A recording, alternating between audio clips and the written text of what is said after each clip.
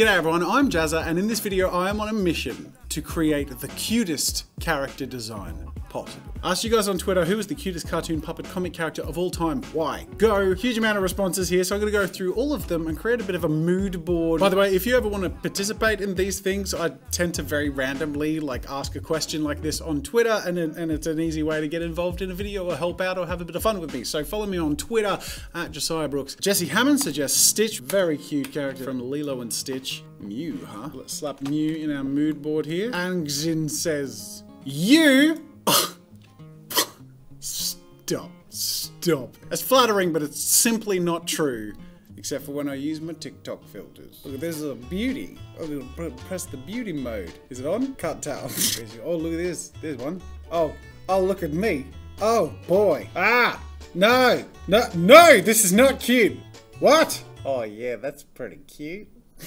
Oh, look at me. I'm cute. I'm, I'm, I'm a little cutie. I'm gonna post that because I haven't posted in TikTok in ages. There it is. I posted. Oh, what? 117,000 TikTok followers. What was I doing? Oh yeah, mood board. Whoops. Sorry, I'm getting distracted. Alright. Oh, WALL-E's WALL-E's pretty cute. I mean, so is Evie as well. So let's uh, let's copy this. There you go. There's my there's WALL-E and Eve. Evie, whatever whatever it is. We've got Pikachu. We've got obviously a lot of Pokemons could fit on this this mood board, but I think Pikachu is definitely one of the original cuties. Pikachu, there you go. But no more Pokemon. That's it. It's enough for you. Lucas the Spider is a is a spider, which by most people's accounts, except for weird people, Little cutie. what makes him cute? That's what we're going to be dissecting and using. Ha! Baby Yoda. Something about Baby Yoda that has captured the hearts and imaginations of everyone. Baby Yoda, absolutely adorable. Fievel from Fievel Goes West and other Fievel based movies, I forget all of them. But here's another great example. So let's start to break down what some of those traits are. So here are the main ones that stand out in nearly all of them. Big, dark eyes. Big head. Sort of like chibi proportions. And chibi, of course, being the, the manga slash anime style that accentuates the proportions that essentially we're breaking down here. All right, there you go. There's a cute little chibi character there. Oh, look at you, little You know, it's a good uh, level of cuteness when words start turning into mumble jumbles. Oh, you, you, you go, Yeah, that's when you know you're hitting the right spot. Now, obviously Stitch is an exception here, but a lot of them I'm noticing a small mouth. Tiny hands, and I actually think there's got to be an element of color. Not always, again, there are exceptions to all of this. They all have a fairly strong color about them. Rosy cheeks, big ears. I think they're my basic notes. I'm going to use these as a rough guide and follow my mood board for inspiration. I'm going to play around with all sorts of combinations of these and uh, hopefully I'll end up with a handful that I think are pretty strong contenders. Until out of them I'll pick the winning one to polish up and push out. That sounds weird. That not a good way to say that. Let's get started. Before jumping into designing characters, I wanted to play with the elements and options of cuteness to see what I preferred and which lent themselves to the most cute appeal possible, starting off with the head and body proportions. Clearly, the bigger the head and the smaller the body, the cuter the character in general. It's really easy to see with these three sketches lined up that the one on the right has the most cute factor of the three. Now, as I mentioned, there will always be exceptions to this rule, but it is the rule for a reason. I mean, look at him. He's so cute. It's just freaking silhouette. Next, the eyes, which is interesting because I assumed that the first pair I drew would be the cutest, but actually I found that the simpler, the better. Now I'm sure it depends heavily on the character. Big eyes may not always be appealing, for example, but I was quickly learning that simplicity pretty much always is appealing. As you can see with the hands I drew, all of them are cute, but the simplicity of the one that I've outlined, where there are no clear indications of where the wrist is, makes it kind of marshmallowy.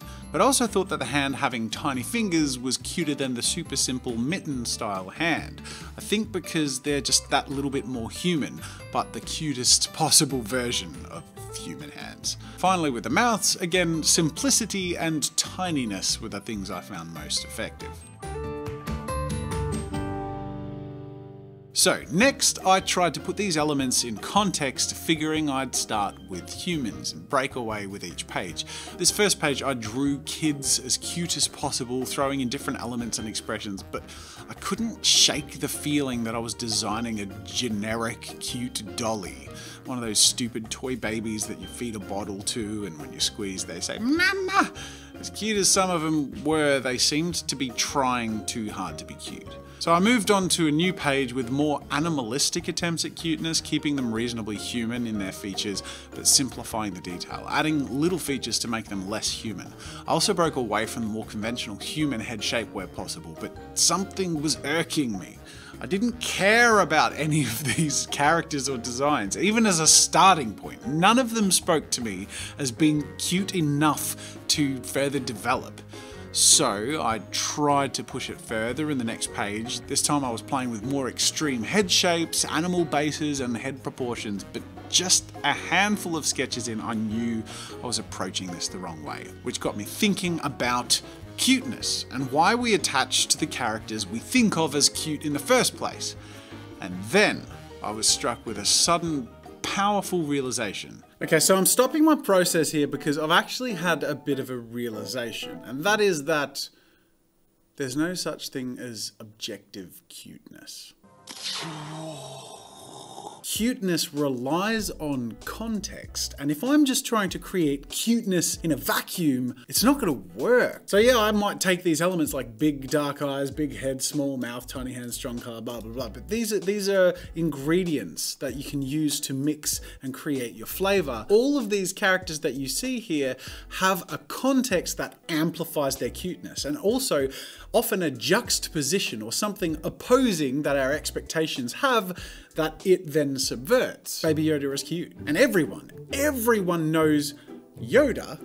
And so I think in the context of everyone knowing Yoda as the wise, old, slightly quirky space goat, when you then take that and make the baby cute version, which no one's ever seen before, oh my god!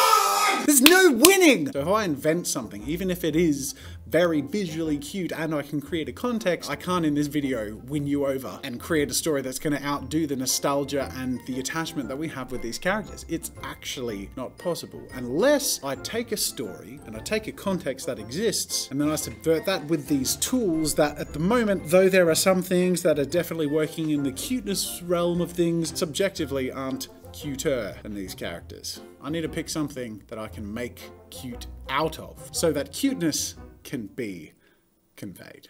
I'm gonna actually interject here with a random plug. I'm realizing obviously it's been a, couple of years since I've done a proper character design session, which frankly this has sort of turned out to be, but also because it's been a couple of years since I've plugged my book, which means that there will be people watching this who don't know I actually have a book on character design. So if you find this stuff really interesting and you like the way that I present it, you're gonna love the book. That's why I wanted to just bring it up and just share it with you. It's called Draw with Jazza Creating Characters, and I'm gonna put the link in the description.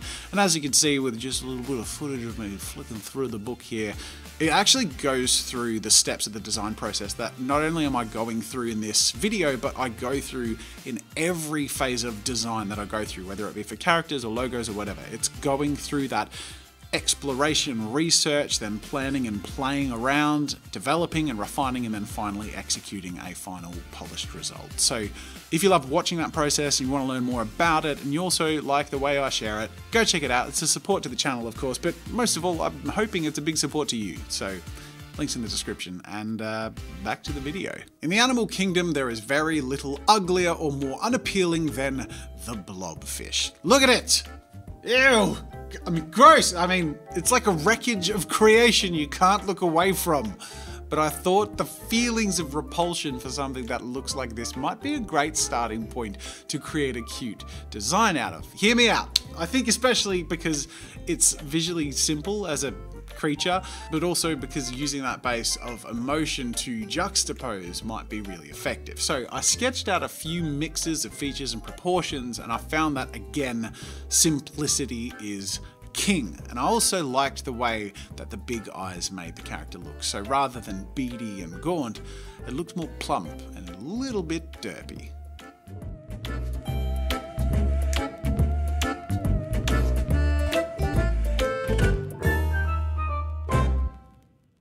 Next, the king of the dinosaurs, the Tyrannosaurus rex, which in most representations are badass, terrifying, and powerful. I thought the adorable version would be pretty compelling. So I sketched out rough proportions for a normal T-Rex to visualize the elements I'd accentuate and the rest I would shrink and soften. In the end opting for a really large, soft and goofy snout and nose with a massive underbite and cute rounded teeth underneath the top jaw, but then also for the body, a really plump lower body, almost making the weight of the character sit like a pear, or almost like a squishy water balloon actually, like with most of the mass in the legs, the tail, and that butt.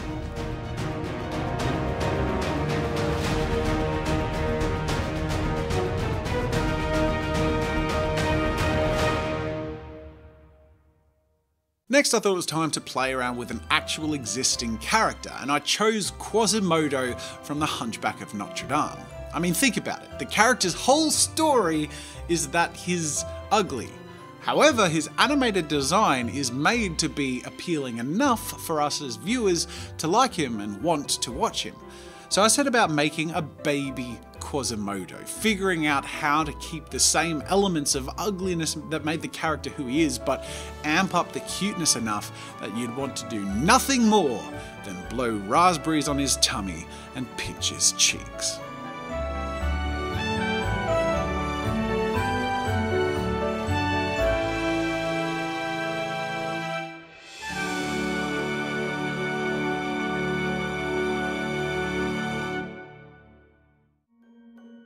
Next, I picked another character but with a different emotional foundation pure terror and disgust. None other than Pennywise the Clown. People love to be freaked out by this clown, and with such a brilliant design in the recent movies and a performance that has people shuddering when they think about him, I thought an adorable version would serve as a tickle of relief to the viewer for the cute version. I played around with the features of the face and found again that simplicity was absolutely critical to making him cute. I mean, if I kept the shape of his mouth or cheeks or proportions of the head too reminiscent of the original, too much of that creep factor would very quickly sneak in. People are just too ready to be creeped out by Pennywise, so chubby and simple were my mantras, as were minimizing the size of his mouth and smile while emphasizing big round eyes and a big soft forehead.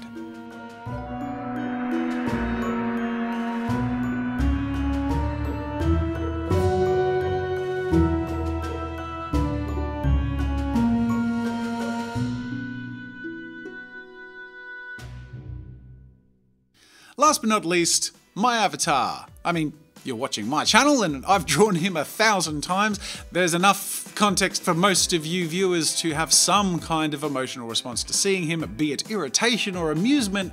An adorable version would surely feel fresh and fun and different and hopefully cute. But this was trickier than I expected, as I found making the eyes too big or the hair too small, the character would just sort of look like a baby. And for this design, I didn't want him to look like an infant, just a super cute version of the same character but by turning the eyes into little shiny buttons and then keeping the general silhouette intact but just softening and widening it, and also sitting things proportionally lower in the face, I got much closer to a version that I thought was pretty gosh diddly darn cute. If I don't, if if you don't mind, if I don't do say so myself.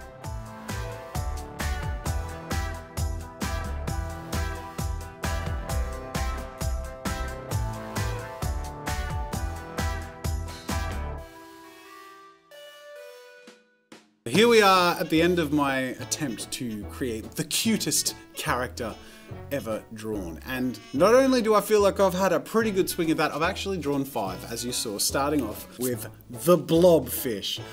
Oh my god, he's disgusting and adorable. And he's only adorable because blobfish are disgusting. I really feel like that was quite the uh, realization today. Here we have the T-Rex. We've seen cute and cartoony T-Rexes before, so it's not a new concept, but I wanted to see if I could make it as cute as possible. And I think he's pretty cute there. But I actually think the most effective ones are the ones based on characters because they have a story. Quasimodo is a character that people people know he has a story and he's a very likable character. So baby Quasimodo has all that likability and the, the feelings people have about the Hunchback of Notre Dame, but he's so cute. Look at him, and you wouldn't think to have a baby Quasimodo, but there was a he was raised in the you could totally do a baby Quasimodo series. And it would be freaking awesome! Pennywise is not appealing. I mean, he's an appealing villain, but he's not someone you would ever, ever, ever, ever call cute. Look at he loves his little balloon. Oh, but do you know who may be the cutest of them all? Me.